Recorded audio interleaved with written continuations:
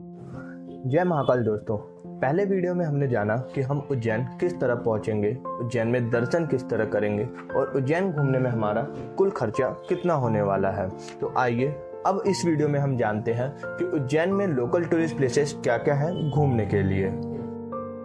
महाकाल बाबा का दर्शन करने के बाद अब बारी आती है कि हम उज्जैन में टूरिस्ट प्लेसेस में कहाँ कहाँ विज़िट कर सकते हैं लोकल एरिया में लोकल साइट में तो अगर आप विज़िट करना चाहते हैं तो उसके लिए आपको ऑटो या फिर ई रिक्शा बुक करना पड़ता है, जिसका जो चार्ज होता है वो जो रिज़र्व करना पड़ता है हमें तो उसका फाइव हंड्रेड रुपीज़ चार्ज वो लोग रिज़र्व में लेते हैं, जिसमें वो फाइव टू सिक्स जो भी आपके मेंबर होते हैं, उन्हें बिठाते हैं। और अगर आप लोग दो तीन पैसेंजर है या फिर एक पैसेंजर जो भी है और आप चाहते हैं पर पैसेंजर जाना तो यहाँ पे पर पैसेंजर का कोई ऐसा रूल नहीं है कि आपको पर पैसेंजर पे ले जाए, क्योंकि यहाँ पे हर एक, हर किसी ने अपना रूल बना रखा है कि रिज़र्व में ही जाएँगे। तो आप स्टेयरिंग करके जा सकते हैं, जैसे आप लोग दो तीन मेंबर हो गए और जो भी आपके अननोन होंगे, उनके साथ आप मिलकर थोड़ा स्टेयरिंग करके आप जा सकते हैं। इस तरह और आपके जो इस रिज़र्व जो आपका चार्ज आने वाला है फाइव हंड्रेड उसमें आपका कोई भी मतलब पार्किंग चार्ज वगैरह एक्स्ट्रा कुछ भी नहीं लिया जाएगा। इसी में आपको यहाँ से पिकअप किया जाएगा। हर जगह आपको घुमाया जाएगा। कुल में भी छह टेंपल आपको घुमाया जाएगा इसमें। और चार से पाँच घंटे वो आपका लेते हैं अच्छे से घुमाने का और आपको उसी जगह पे वो फिर ड्रॉप कर देते हैं। तो इस तरह आप यहाँ पे बुक करके घूम सकते हैं अपना उज्जैन का, जो लोकल टूरिस्ट प्लेसेस रहने वाला है। तो चलिए हम भी अपनी यात्रा स्टार्ट करते हैं यहाँ से। महाकालेश्वर मंदिर से साढ़े पाँच किलोमीटर दूर हम निकल जाते हैं घूमने के लिए। सबसे पहले हम चलते हैं गढ़ कालिका मंदिर, जो कि करीब साढ़े पाँच किलोमीटर दूर महाकाल मंदिर से था।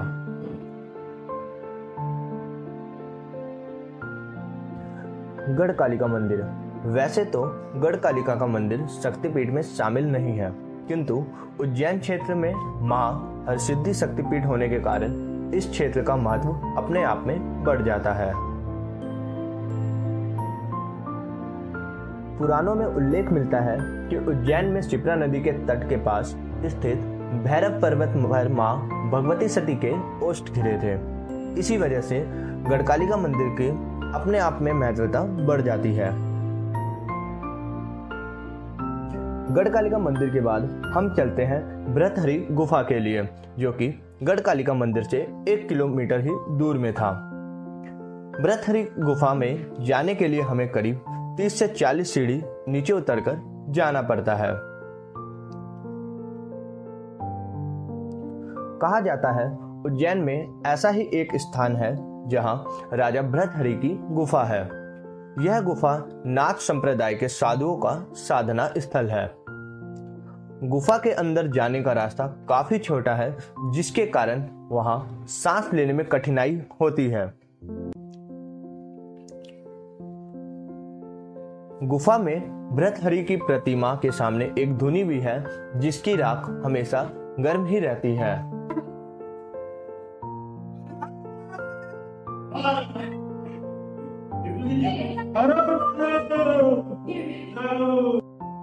ब्रथहरी गुफा में दर्शन करने के बाद हम मौसमों का अपना मज़ा लेते हुए हम चलते हैं भगवान काल भैरव मंदिर की ओर। काल भैरव मंदिर ब्रथहरी गुफा से करीब दो किलोमीटर की दूरी पर था।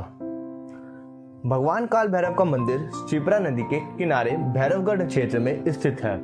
कहा जाता है, इस मंदिर की सबसे बड़ी विशेषता है कि यह भगवान काल भैरव को प्रतिमा को शराब का भोग लगाया जाता है।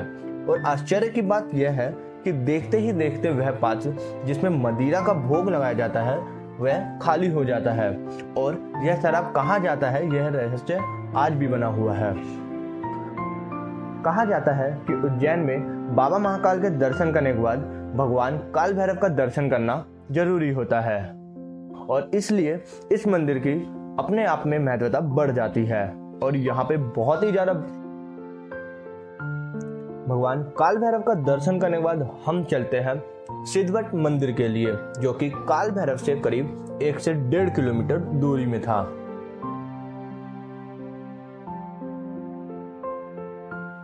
सिद्धवट मंदिर पहुँचने के बाद आप कुछ इस तरह से बंदर भी आपको देखने को मिलेंगे, जिन्हें आप अपने हाथों से कुछ भी प्रसाद या कुछ भी इन्हें भोजन करवा सकते हैं, कुछ भी खिला सकते हैं। साथ ही साथ हमें इन रास्तों से गुजरना होता है और इसी रास्ते में आपको कई सारे बंदर भी देखने को मिलते हैं।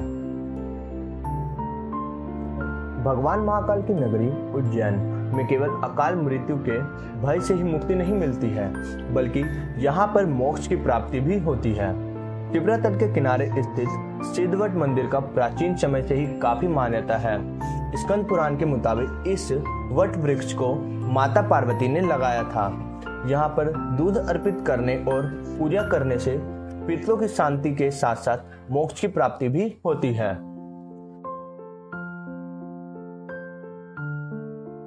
देश भर में चार वट वृक्ष की काफ़ी मान्यता है।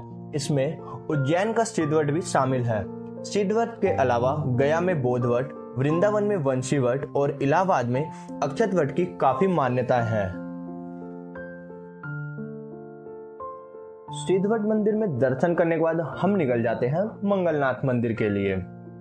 मंगलनाथ मंदिर, कहा जाता है कि यह मंदिर सदियों पुराना है। सिंधिया राज घराने ने इसका पुनर्निर्माण करवाया था। यहाँ की गई मंगल की पूजा का विशेष महत्व है भक्तों द्वारा यहाँ मंगलनाथ को शिव रूप में ही पूजा जाता है। मंगलवार के दिन यहाँ श्रद्धालु दूर दूर से चले आते रहते हैं और यहाँ होने वाली भात पूजा को भी काफ़ी महत्वपूर्ण माना जाता है। मान्यता है कि इस मंदिर में भात पूजा करवाने से कुंडली के मंगल की शांति होती है और मांगलिक दोष से ग्रस्त व्यक्तियों के सारे काम निर्विघ्न पूरे होते हैं। मंगलनाथ मंदिर में अब दर्शन करने के बाद हम चलते हैं संदीपनी आश्रम की ओर।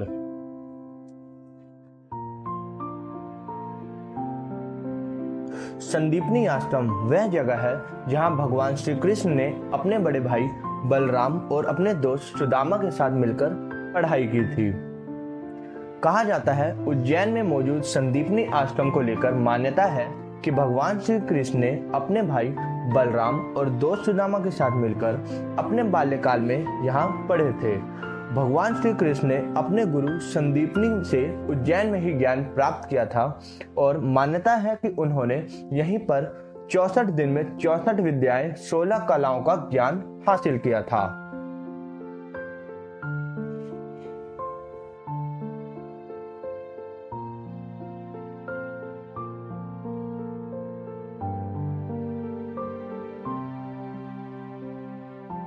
उज्जैन में महाकाल कॉरिडोर के बगल में स्थित भारत माता मंदिर है, जहाँ पर आप अच्छे से जाकर वहाँ भी घूम सकते हैं। वहाँ पर आपको देखने को मिलेगा हमारे भारत का नक्शा, जहाँ पर आप देख सकते हैं हमारे देश में कुल 12 ज्योतिर्लिंग कहाँ कहाँ पर स्थित है, वो भी आपको वहाँ पर देखने को अच्छे से मिलेगा। और साथ ही साथ आप मंदिर के अंदर कुछ इस तरह जाकर भारत माता का दर्शन कर सकते हैं। कहा जाता है, जहाँ पर भी भगवान शिव विराजमान होते हैं, वहाँ पर माता पार्वती अवश्य उनके साथ होती है। और इसी तरह उज्जैन में भी महाकालेश्वर मंदिर से आधे किलोमीटर दूर में माता हरसिद्धि मंदिर है। देश भर में हरसिद्धि देवी के कई प्रसिद्ध मंदिर है, लेकिन वाराणसी और उज्जैन स्थित हरसिद्धि मंदिर सबसे प्राचीन है। कहते हैं हरसिद्धि माता मंदिर वहाँ स्थित है, जहाँ माता सती के हाथ की कोहनी आकर गिर गई थी और इसलिए इस मंदिर को शक्तिपीठ कहा जाता है। और इस तरह आप उज्जैन में सभी मंदिरों में दर्शन कर सकते हैं। अगर वीडियो अच्छी लगी हो तो वीडियो को लाइक करें, कमेंट करें और चैनल को हमारे सब्सक्राइब करें। मिलते हैं अगली वीडियो में, तब तक के लिए जय श्री महाकाल।